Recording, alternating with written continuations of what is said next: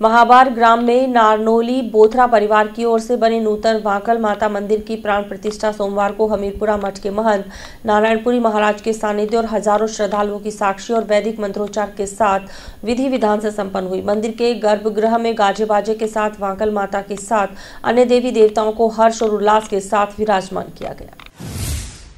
महाबार ग्राम में नारनोली बोथरा परिवार की ओर से बने नूतन वाकल माता मंदिर की प्राण प्रतिष्ठा सोमवार को हमीरपुरा मठ के महंत नारायणपुरी महाराज के सानिध्य और हज़ारों श्रद्धालुओं की साक्षी और वैदिक मंत्रोच्चार के साथ विधि विधान से संपन्न हुई। मंदिर के गर्भगृह में गाजे बाजे के साथ वांकल माता के साथ अन्य देवी देवताओं को नारनोली बोथरा परिवार द्वारा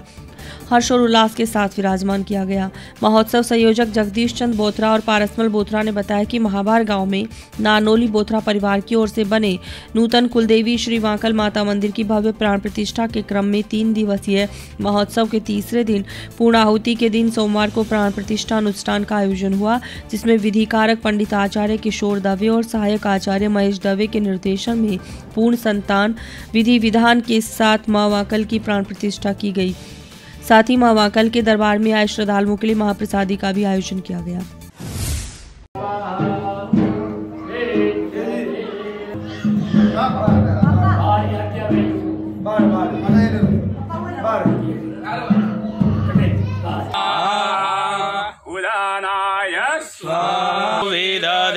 घो जगमाया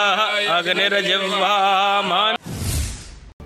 वहीं प्राण प्रतिष्ठा के दिवस दिन भर मेले जैसा माहौल रहा। तीन दिवसीय महोत्सव में मंदिर की सजावट लाइटिंग और दूध से धवल संगमरमर के पत्थर से बने वाकल दरबार को देखकर हर कोई अभिभूत था। मंदिर निर्माण कार्य से जुड़े सुरेश कुमार बोथरा ने बताया कि नूतन कुलदेवी श्री वाकल माता मंदिर प्राण प्रतिष्ठा के तीसरे दिन प्राण प्रतिष्ठा और महाप्रसादी अवसर पर नानोली बोथरा परिवार सहित बाड़मेर ज़िले के कई गणमान्य नागरिक, माताएँ, बहनें और स्थानीय ग्रामीण उपस्थित रहे।